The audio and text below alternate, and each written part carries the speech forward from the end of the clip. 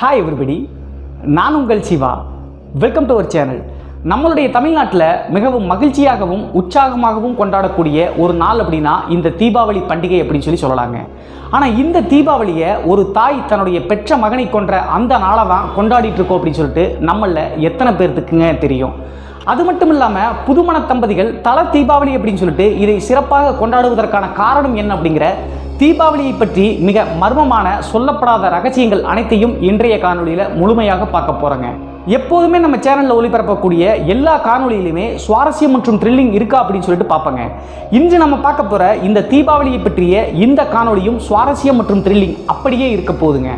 நீங்கள் நம்ம சேனலை இதுவரைக்கும் சப்ஸ்கிரைப் பண்ணாமல் பார்த்துட்டு இருந்தாலும் சரி புதிய பார்வையாளராக இருந்தாலும் சரி வீடியோக்கு கீழே இருக்கக்கூடிய சப்ஸ்கிரைப் பட்டனை கிளிக் பண்ணிவிட்டு பக்கத்தில் இருக்கக்கூடிய பெல் ஐக்கானையும் கிளிக் பண்ணிடுங்க நம்ம ஷோக்குள்ளே போகலாம் இந்த தீபாவளி பண்டிகை கிட்டத்தட்ட ஐயாயிரம் வருடங்களுக்கு முன்பு இருந்தே கொண்டாடப்படுகிறது அப்படின்னு சொல்லிட்டு புராண வரலாறுகள் சொல்லுதுங்க. அது மட்டும் இல்லாமல் நான் ஏற்கனவே சொன்ன மாதிரி ஒரு தாய் தன்னுடைய பெற்ற மகனை கொன்ற அந்த நாளை தான் தீபாவளியாக நாம் கொண்டாடிட்டு இருக்கோங்க. அதற்கான பின் வரலாறு என்ன அப்படின்னு சொல்லிட்டு பார்க்க ஆரம்பிக்கலாங்க. ஐயாயிரம் வருடங்களுக்கு முன்பு இரணியாக்சன் அப்படின்னு சொல்லக்கூடிய ஒரு அரக்கன் பூமாதேவியை சிறைபிடித்து பாதாளத்தில் எடுத்துகிட்டு போய் கொடுமைப்படுத்த ஆரம்பித்தாங்க இதை பார்த்து ஆத்திரமடைந்த மகாவிஷ்ணு வராகி அவதாரம் எடுத்து இரணியாக்சன் கிட்ட போர் செஞ்சு பூமாதேவியை மீட்டெடுத்துட்டு வர்றாருங்க. அப்படி மீட்டெடுத்துட்டு வரும்போது மகாவிஷ்ணுடைய அவதாரமாக வராகிக்கும் இந்த பூமாதேவிக்கும் இடையில ஒரு பரிசம் ஏற்பட்டு பவுலன் அப்படிங்கிற ஒரு குழந்தை பிறக்குதுங்க. இப்படி பிறந்த பவுலன் அரக்க குணத்தோடே வளர ஆரம்பிக்கிறாங்க. ஒரு காலகட்டத்தில் இந்த பூமியை ஒட்டுமொத்தமாக துன்புறுத்தி ஆட்சி செய்ய ஆரம்பித்தாங்க அப்படி இருந்த இந்த பவுலனுக்கு மறுபடியும் ஒரு பேராசை வந்துச்சுங்க. இந்த பூலோகம் மட்டும் இல்லாமல் மூவுலகத்தையும் நம்ம கட்டி ஆள வேண்டும் அப்படின்னு சொல்லிட்டு இந்த பவுலன் அப்படிங்கிற நபருக்கு ஆசை வந்துச்சுங்க.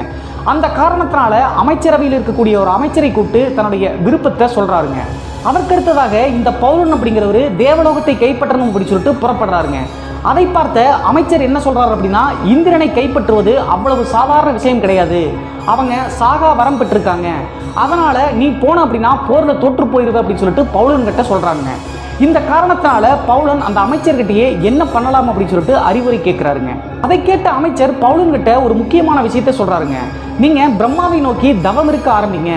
பிரம்மா கிட்ட சாகா வரம் கேட்டுட்டீங்க அப்படின்னா இந்திரனை வெல்வது சுலபம் அப்படின்னு சொல்லிட்டு அமைச்சர் சொன்ன காரணத்தினால பவுலன் அடர்ந்த காடுகளுக்குள்ள போய் பிரம்மாவை நோக்கி தவம் இருக்க ஆரம்பிக்கிறாருங்க. நாட்கள் மாதங்கள் வருடங்கள் அப்படின்னு சொல்லிட்டு எதையும் எதிர்பார்க்காம பவுலன் பிரம்மாவை நோக்கி தவம் இருந்த அந்த காலகட்டத்தில் பிரம்மா தன்னுடைய தவத்தை மெச்சி பவுலன் முன்னாடி வந்து நிற்கிறாருங்க அப்போது பவுலா உனக்கு என்ன வரம் வேண்டும்? கேள் அப்படின்னு சொல்லிட்டு பிரம்மா கேட்குறாருங்க இந்த நேரத்தில் பவுலன் பிரம்மா கிட்ட எனக்கு சாகா வரம் வேண்டும் அப்படின்னு சொல்லிட்டு வரம் கேட்குறாருங்க ஆனால் பிரம்மா அதை கேட்ட பின்பு இந்த பூலோகத்தில் பிறந்த ஒவ்வொருவரும் ஒரு நாள் மரணித்தே ஆக வேண்டும். அதனால் இந்த வரத்தை தவிர்த்து நீ வேற ஏதாவது வரம் கேள் அப்படின்னு சொல்லிட்டு பிரம்மா சொல்கிறாருங்க இதை கேட்ட உடனே பவுலன் ஒரு முக்கியமான விஷயத்தை யோசிக்கிறாருங்க. பிரம்மா கண்டிப்பா இந்திரனுக்கு ஆதரவாக தான் செயல்படுவார். அதனால தந்திரமா வரம் கேட்கணும் அப்படின்னு சொல்லிட்டு முடிவெடுத்து தான் பெற்ற தாயை தவிர வேற யாருனாலையும் என்னை கொல்லக்கூடாது அப்படி ஒரு வரம் வேண்டும் அப்படின்னு சொல்லிட்டு பிரம்மா கிட்ட இந்த பவுலன் கேட்குறாருங்க அப்படி கேட்ட உடனே பிரம்மாவும் அந்த வரத்தை கொடுக்கிறேன் அப்படி சொல்லிட்டு அங்கிருந்து மறைஞ்சு போயிடுறாருங்க. அதற்கு பின்பு அந்த வரத்தை பெற்ற பவுலன் என்ன யோசிக்கிறார்னா இந்த பூலோகத்தில் எந்த தாயும் தன்னுடைய பெற்ற மகனை கொல்ல முற்பட மாட்டாங்க. அதனால் இந்த வரம் தனக்கு சாகா வரம் மாதிரி தான் அப்படின்னு சொல்லிட்டு தெரிஞ்சுக்கிட்டு மற்ற எல்லா உலகங்களையும் கட்டி ஆள வேண்டும் அப்படின்னு சொல்லிட்டு புறப்படுறாருங்க. அந்த காரணத்தினால முதன் முதலாக தன்னுடைய படைகளோடு இந்திரலோகத்தை கைப்பற்றுவதற்காக அங்கே போகிறாங்க அங்கே போகும்போது பவுலனுடைய அந்த வரத்தை நினச்சிக்கிட்டு இந்திரன் பயந்து போய் அந்த இடத்துல இருந்து மறைஞ்சு போயிடுறாருங்க.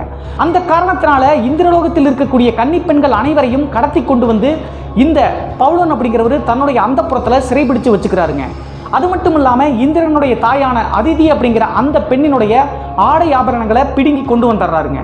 இந்த காரணத்தினால இந்திரன் என்ன பண்றாரு அப்படின்னா இதற்கு ஒரு தீர்வு வேண்டும் அப்படின்னு சொல்லிட்டு மகாவிஷ்ணு கிட்ட போய் முறையிட ஆரம்பிக்கிறாருங்க. அப்போது மகாவிஷ்ணு இந்திரனுக்கு ஒரு அறிவுரை சொல்கிறாருங்க உன்னை காப்பாற்றுவது ஒருவரால் மட்டும்தான் முடியும். அது யார் அப்படின்னு சொல்லி பார்த்தா பூலோகத்தில் என்னுடைய அவதாரமாக இருப்பது தற்போது இருப்பது கிருஷ்ணர். கிருஷ்ணருக்கு மனைவியாக இருப்பது சத்தியபாமா சத்தியபாமா வேற யாரும் கிடையாது. இதற்கு முன்பு பூமாதேவியா இருந்தாங்க இல்லையா? பூமாதேவியினுடைய ஒரு அவதாரம் தாங்க சத்தியபாமா ஸோ கிருஷ்ணர்கிட்டையும் சத்தியபாமா கிட்டையும் போய் முறையிடுங்க.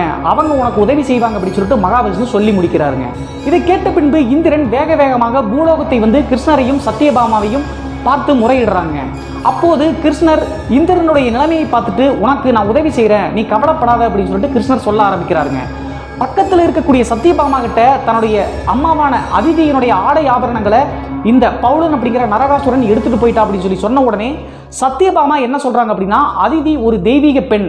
அந்த பெண்ணினுடைய ஆடை ஆபரணங்களை களவாடி எடுத்துட்டு போகிறதுக்கு இந்த நரகாசுரன் அப்படிங்கிற பவுலடுக்கு என்ன தைரியம் அப்படின்னு சொல்லிட்டு கோபப்பட்டு பேசுகிறாங்க அந்த காரணத்தினால கிருஷ்ணர் என்ன பண்ணுறாரு அப்படின்னா சத்யபாமாவை மேலும் கோபம் வர வைக்கிற மாதிரி சில வார்த்தைகளை சொல்கிறாருங்க நரகாசுரன் அப்படிங்கிற அந்த பவுலன் பிரம்மா கிட்ட வரம் வாங்கின நபர். அவனை உன்னால் எதுவும் பண்ண முடியாது. உன்னுடைய ஆற்றல் அவர்கிட்ட தோத்து போயிடும் அப்படின்னு சொல்லிட்டு கிருஷ்ணர் சொன்ன உடனே சத்யபாமாவுக்கு பயங்கர கோபம் வந்துருதுங்க. என்னுடைய ஆற்றலை மிஞ்சிய ஒருவன் இந்த பூலோகத்தில் இருக்கானா? அவனுடைய ஆற்றலை நான் நேருக்கு நேர் சந்திக்கணும் அப்படின்னு சொல்லிட்டு சத்தியபாமா ஆத்திரத்தோடு பேசுறாங்க. அதற்கு பின்பு இந்த சத்தியபாமா கிருஷ்ணர்கிட்ட ஒரு வேண்டுகோள் ஒன்று வைக்கிறாங்க. இந்த பவுலன் அப்படிங்கிற நரகாசுரனை கொல்ல போருக்கு போகும்போது கிருஷ்ணருக்கு தேரோட்டியாக நான் தான் வரணும் அப்படின்னு சொல்லிட்டு சத்தியபாமா வேண்டுகோள் வைக்கிற காரணத்தினால வேற வழி இல்லாமல் கிருஷ்ணரும் சத்தியபாமாவை தேரோட்டியாக வச்சுக்கிட்டு அந்த போர்க்களத்திற்கு கிளம்பி போறாருங்க.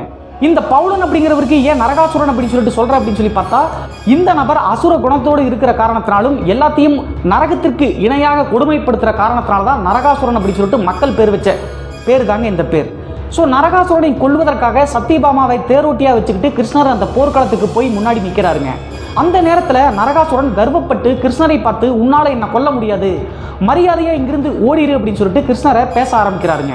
அந்த நேரத்தில் கிருஷ்ணர் என்ன பண்ணுறாரு அப்படின்னா நரகாசுரனுக்கு போர்ப்படை தளபதிகளாக இருந்த அனைவரையுமே கொன்று குவிச்சிடுறாருங்க. அதற்கு பின்பு நரகாசுரன் ஆத்திரப்பட்டு கிருஷ்ணரை தாக்குவதற்காக அம்பொன்னு எய்ய ஆரம்பிக்கிறாருங்க. இதை கொஞ்ச தூரத்தில் நின்று தேரோட்டியாக இருக்கக்கூடிய சத்தியபாமா பார்த்துக்கிட்டே இருக்காங்க. நரகாசுரன் தன்னை நோக்கி எய்த அந்த அம்பை ஒரு நாடகமாடி கிருஷ்ணர் வந்து பார்த்தீங்கன்னா அந்த சத்தியபாமா மூலமாக தான் அந்த நரகாசுரனை கொல்ல முடியும் இல்லையா? தன்னுடைய தாய் அதாவது நரகாசுரனுடைய தாய் பூமாதேவி. பூமாதேவியினுடைய அவதாரம் தான் இந்த சத்தியபாமா ஸோ சத்தியபாமா அம்பு எய்தால் மட்டும்தான் நரகாசுரன் கொல்ல முடியும் அப்படிங்கிற கிருஷ்ணர் தெரிஞ்சுக்கிட்டு ஒரு நாடகத்தை அந்த போர்க்களத்திலேயே இயற்றுறாருங்க நரகாசுரன் தன்னை நோக்கி எய்த அந்த அம்பை தன்னுடைய மார்பில் பட்ட மாதிரி கிருஷ்ணர் அப்படியே தள்ளி விட்டுட்டு மயக்கம் போட்ட மாதிரி கீழே விழுந்து நடிக்க ஆரம்பிச்சிடுறாருங்க. இதை தூரத்திலிருந்து பார்த்துட்டு இருந்த தேரோட்டியாக இருந்த சத்தியபாமா தன்னுடைய கணவரையே நீ தாக்க ஆரம்பிச்சிட்டே அப்படின்னு சொல்லிட்டு ஆத்திரப்பட்டு நரகாசுரனை நோக்கி ஒரு பலத்த அம்பை எடுத்து வீச ஆரம்பிக்கிறாங்க. அப்படி வீசும்போது நரகாசுரன் அந்த அம்பை தடுக்காம தன்னுடைய தாய் எய்தா மட்டும்தான் தனக்கு சாவு இருக்குது அதனால் இந்த பெண்மணி வீசுகிற அம்பெல்லாம் நம்மளுக்கு ஒன்றும் பண்ணாது அப்படின்னு சொல்லிட்டு நெஞ்சை நிமிர்த்தி நிற்கிறாருங்க அதற்கு அடுத்தனுடைய சத்தியபாமா வீசிய அந்த அம்பு நரகாசுரனுடைய நெஞ்சை பிளந்து அப்படியே நரகாசுரன் பூமியில் சாஞ்சிடுறாருங்க அந்த நேரத்தில் கொஞ்சம் கொஞ்சமாக உயிர் போயிட்டு இருக்கிறத நரகாசுரன் உணர ஆரம்பிக்கிறாருங்க. என்னடா பிரம்மா கிட்ட நம்ம வரம் கேட்டமே தன்னுடைய பெற்ற தாயை தவிர யார் கொன்னாலும் நம்மளுக்கு சாவு இருக்காது அப்படின்னு சொல்லிட்டு வேண்டுனமே இப்போது நம்மளுடைய உயிர் போகுது அப்படின்னு சொல்லிட்டு யோசிச்சுக்கிட்டே அந்த போர்க்களத்தில் படுத்து கிடக்கிறாருங்க. அந்த நேரத்தில் மயங்கி கிடந்த அந்த கிருஷ்ணர் டக்குன்னு எந்திரிச்சு சத்தியபாமாவை கூப்பிட்டு நரகாசுரன் பக்கத்தில் வந்து நிற்கிறாருங்க அப்போது கிருஷ்ணனுடைய பக்கத்தில் நின்றுட்டு இருக்கக்கூடிய சத்தியபாமா உயிருக்கு போராடி சாஞ்சிட்டு இருக்கக்கூடிய நரகாசுரனுடைய முகத்தை பார்க்குறாங்க அந்த நேரத்தில் தான் சத்தியபாமாவுக்கு ஒரு விஷயம் புரியுதுங்க. இதற்கு முன்பு நம்ம அவதாரமாக இருந்த இந்த பூமாதேவியின் மூலியமாக தான் பெற்ற பிள்ளையை தான் நம்ம அம்பு எய்தி கொண்டுட்டோம் அப்படின்னு சொல்லிட்டு தெரிய வருதுங்க.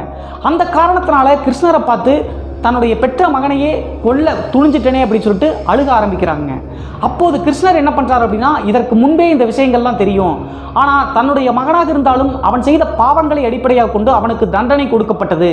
நீ கவலைப்படாத அப்படின்னு சொல்லிட்டு கிருஷ்ணர் சத்யபாமாவுக்கு ஆறுதல் சொல்கிறாருங்க அதே நேரத்தில் உயிருக்கு போராடிட்டு இருக்கக்கூடிய இந்த நரகாசுரன் சத்தியபாமாவனுடைய முகத்தை பார்க்கும்போது அவருக்கும் புரிஞ்சதுங்க இதற்கு முன்பு பூமாதேவியாக தன்னுடைய தாயாக இருந்த அந்த நபரனுடைய அவதாரம் தான் சத்தியபாமா தன்னுடைய அம்மாவாக இருக்கிற காரணத்தினால தான் அவங்க அ, எய்த அம்பு வந்து தன்னுடைய நெஞ்சை பிளந்து உயிர் போகுது அப்படின்னு சொல்லிட்டு தெரிஞ்சுக்கிறாருங்க.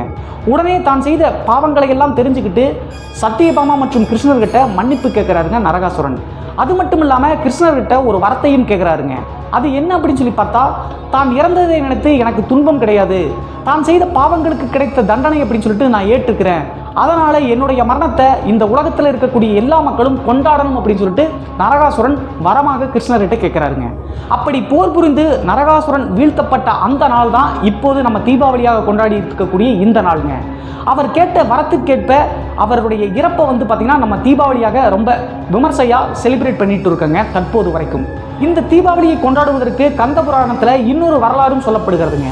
அது என்ன அப்படின்னு சொல்லி பார்த்தா கைலாயத்தில் சிவன் மற்றும் பார்வதி இருக்கும்போது பிரிங்கி முனிவர் அப்படிங்கிற சிவனுடைய பத்தன் ஒருத்தர் சிவனை பார்ப்பதற்காக வர்றாருங்க. அப்போது கணவன் மற்றும் மனைவி இருக்கும்போது சிவனை மட்டுமே அந்த பிரிங்கி முனிவர் வழிபடுறாருங்க. வழிபட்டு விட்டு சிவன்கிட்ட கொஞ்ச நேரம் பேசிட்டு கிளம்பி போயிடுறாருங்க. அந்த நேரத்தில் கோபப்பட்ட பார்வதி என்ன பண்ணுறாங்க அப்படின்னா தான் பக்கத்திலே இருந்தும் கூட தன்னை அந்த முனிவர் வணங்கலையே அப்படின்னு சொல்லிட்டு சிவன்கிட்ட கேட்குறாங்க அதை கேட்ட உடனே சிவபெருமான் தன்னுடைய மனைவி கிட்ட அவன் என்னுடைய பக்தன் மோட்சத்தை பெறுவதற்காக எங்கிட்ட வந்தான். உங்ககிட்ட வணங்க வேண்டிய கட்டாயம் கிடையாது அப்படின்னு சொல்லிட்டு சொல்லிடுறாருங்க. இதை கேட்ட உடனே கோபப்பட்டு சிவபெருமான் கிட்டிருந்து பிரிஞ்சு பூலோகத்திற்கு பார்வதி தேவி வந்துடுறாங்க. பூலோகத்திற்கு வந்த பார்வதி தேவி வால்மீகி முனிவரை யதார்த்தமாக பார்க்குறாங்க. அந்த முனிவர்கிட்ட நடந்த விஷயங்கள் அனைத்தையுமே சொல்லும்போது வால்மீகி முனிவர் ஒரு விஷயத்தை பார்வதி தேவி கிட்ட ஒரு முக்கியமான விஷயத்தை சொல்கிறாங்க கௌரி பூஜை அப்படிங்கிற ஒரு பூஜையை சிவபெருமானை நினச்சி நடத்துனீங்க அப்படின்னா சிவபெருமான் உங்கள் முன்னாடி வந்து நிற்பார் அந்த நேரத்தில் உங்களுக்கு தேவையான ஒரு வரத்தை கேளுங்க அப்படின்னு சொல்லிட்டு தந்திரமாக ஒரு வரத்தை வந்து பார்த்திங்கன்னா பார்வதி தேவிக்கு சொல்லி கொடுக்குறாருங்க. அந்த முனிவர் சொன்ன மாதிரியே இந்த பார்வதி தேவி கடும் தவம் இருந்து சிவபெருமானை நோக்கி வேண்டிகிட்டு இருக்காங்க. அப்போது தவத்தில் மெச்சி போய் சிவபெருமான் பார்வதி தேவி முன்னாடி வந்து நிற்கிறாருங்க உனக்கு என்ன வரம் வேண்டும் கேள் அப்படின்னு சொல்லி சொன்ன உடனே பார்வதி தேவிக்கு வால்மீகி முனிவர் தந்திரமாக சொன்ன அந்த வரத்தை பற்றி தெரிஞ்சுக்கிட்டு ஒரு விஷயத்தை கேட்குறாங்க அந்த வரம் என்ன அப்படின்னு சொல்லி பார்த்தா சிவனுடைய உடம்புல பாதி உடம்பு என்னுடைய உடம்பாக இருக்கணும் அப்படின்னு சொல்லிட்டு இந்த வரத்தை வந்து பார்வதி தேவி சிவன்கிட்ட கேட்குறாங்க சிவன் வேற வழியே இல்லாமல் அந்த வரத்தையும் கொடுத்துட்றாருங்க. அப்படி கொடுத்த அந்த வரம் தான் அர்த்தநாதீஸ்வரர். சிவன் பாதி சக்தி பாதி அப்படின்னு சொல்லிட்டு நீ இருக்கிறாங்க இல்லையா? அந்த அவதாரம்ங்க. இந்த அர்த்தநாதீஸ்வரர் அப்படிங்கிற இந்த தவத்தை பெற்ற அந்த நாள் தான் தீபாவளியாக கொண்டாடப்படுகிறது அப்படின்னு சொல்லிட்டு சொல்லப்படுகிறதுங்க. பார்வதி தேவி இப்படி அர்த்தநாதீஸ்வரராக மாறினா எந்த முனிவர்கள் வந்து வணங்கினாலும் வணங்கும் போது தன்னையும் சேர்த்து வணங்கணும் அப்படிங்கிற அந்த தந்திரமான வரத்தை தான் வால்மீகி முனிவர் சொல்லியிருக்காரு அப்படின்னு சொல்லிட்டு இதுலேருந்து நீங்கள் புரிஞ்சுக்கலாங்க. அந்த காரணத்தினால தான் தீபாவளி அன்னைக்கு கௌரி பூஜை அப்படிங்கிற அந்த பூஜையை நிறைய வீடுகளில் தற்போது வரைக்கும் நடத்திட்டு வந்துட்டு இருக்காங்க. அதற்கடுத்ததாக புதுமண தம்பதிகள் தல தீபாவளியாக சிறப்பாக கொண்டாடுவதற்கான காரணம் என்ன அப்படின்னு சொல்லிட்டு பார்க்க ஆரம்பிக்கலாங்க. அதற்கான வரலாறு என்ன அப்படின்னு சொல்லி பார்த்தா தேவர் மற்றும் அசுரர்கள் அமிர்தத்தை எடுப்பதற்காக பார்க்கடலை கடைஞ்சிட்டு இருந்தாங்க இல்லையா? அப்படி கடைஞ்சிட்டு இருக்கும்போது மகாலட்சுமி அந்த பார்க்கடலினுடைய அந்த ஆற்றிலிருந்து வெளியே வந்தாங்க. அப்படி மகாலட்சுமி அவதரித்த அன்றைய நாள்லேயே மகாவிஷ்ணுவோட திரு கல்யாணம் வந்து நடக்குதுங்க. அப்படி கல்யாணமாகி முதன் முதலாக மகாலட்சுமியை வைகுண்டத்திற்கு மகாவிஷ்ணு அழைத்துட்டு போன அந்த நாள் தான் இந்த தீபாவளி அப்படின்னு சொல்லிட்டு சொல்லப்படுகிறதுங்க. மகாவிஷ்ணு மற்றும் மகாலட்சுமி முதன் முதலாக கல்யாணம் செய்து வைகுண்டத்திற்கு போன அந்த நாள் தான் இந்த தீபாவளி திருநாள் அப்படின்னு சொல்லிட்டு சொல்லப்படுகிறதுங்க. அந்த காரணத்தினால தான் தற்போது வரைக்கும் இந்த புது மாப்பிள்ளை பொண்ணு வந்து பார்த்தீங்கன்னா தல தீபாவளியை ரொம்ப விமர்சையாக தற்போது வரைக்கும் கொண்டாடிட்டு இருக்காங்க. நிறைய பேர் இந்த தீபாவளி பண்டிகை இந்துக்களுக்கான திருநாள் அப்படின்னு சொல்லிட்டு நினச்சிட்டு இருக்காங்க. ஆனால் இஸ்லாமியர்கள் சமணர்கள் மற்றும் இந்துக்கள் இவங்க அனைவருமே இந்த தீபாவளியை தற்போது வரைக்கும் கொண்டாடிட்டு தாங்க இருக்காங்க. அதற்கு உதாரணமாக சொல்லணும் அப்படின்னா சமணர்கள் மகாவீரர் அப்படிங்கிறவர் முத்தி அடைந்து பெற்ற அந்த நாள் இந்த தீபாவளி திருநாளில் தான் நடைபெற்றுச்சு அப்படின்னு சொல்லிட்டு நம்ம எப்படி தீபாவளியாக கொண்டாடுறோமோ வட இந்தியாவிலெல்லாம் வந்து பார்த்திங்கன்னா மகாவீரர் ஜெயந்தி அப்படின்னு சொல்லிட்டு கொண்டாடுவாங்க. அதற்கடுத்ததாக இஸ்லாமியர்கள் முகலாய பேரரப்பு காலகட்டத்திலிருந்தே இந்த தீபாவளியை கொண்டாடித்தாங்க இருக்காங்க. அதற்கு உதாரணமாக சொல்லணும் அப்படின்னா தீபாவளி அன்னைக்கு பார்த்தீங்க அப்படின்னா பாகிஸ்தான்லேயும் நம்ம எப்படி தீபாவளி கொண்டாடுறோமோ அதே மாதிரி தற்போது வரைக்கும் கொண்டாடித்தாங்க இருக்காங்க. அது மட்டும் இல்லாமல் இந்தியா பாகிஸ்தானுடைய எல்லையோரத்தில் எவ்வளவு பதற்றம் இருந்தாலும் கூட இந்த தீபாவளி திருநாள் அன்னைக்கு இனிப்புகளை கொடுத்து பரிமாறிக்குவாங்க. இதற்கு காரணம் இஸ்லாமியர்கள் அந்த காலகட்டத்திலிருந்தே கிட்டத்தட்ட முகலாய பேரரப்பான ஆயிரத்தி முந்நூறு காலகட்டத்திலிருந்தே கொண்டாடிட்டு இருக்காங்க அப்படிங்கிறத நம்ம தெரிஞ்சுக்கணும் நண்பர்களே. அதற்கடுத்ததாக ஐதீகப்படி தன்னுடைய இறந்து போன முன்னோர்களுடைய ஆன்மாக்கள் தீபாவளி அன்னைக்கு வீட்டுக்கு ஒரு முறையாவது வந்துட்டு போகும் அப்படின்னு சொல்லிட்டு நம்பப்படுகிறதுங்க. அந்த காரணத்தினால தான் தீபாவளி என்று தீபத்தை ஏற்றி நிறைய இனிப்புகளை அவங்களுக்காக படையலாக படைக்கணும். அப்படி படைச்சோம் அப்படின்னா வீட்டுக்கு வந்து நம்மளை பார்த்துட்டு ஆசீர்வதிச்சுட்டு போவாங்க முன்னோர்களுடைய ஆன்மாக்கள் அப்படின்னு சொல்லிட்டு தற்போது வரைக்கும் நம்பப்படுகிறதுங்க. அந்த காரணத்தினால தான் தீபாவளி அன்னைக்கு கண்டிப்பாக தீபத்தை ஏற்றி எல்லாருமே கொண்டாடிட்டு இருக்குங்க. தீபாவளியை பற்றி எனக்கு தெரிந்த அந்த வரலாற்று நிகழ்வுகள் அனைத்தையும் ஆன்மீகத்தின்படி அப்படியே சொல்லிட்டேங்க. தற்போது வரக்கூடிய இந்த தீபாவளி உங்களுக்கு மிக சிறப்பானதாகவும் மகிழ்ச்சியாகவும் அமையட்டும் அப்படின்னு சொல்லிட்டு கடவுளை வேண்டிக்கிறேங்க.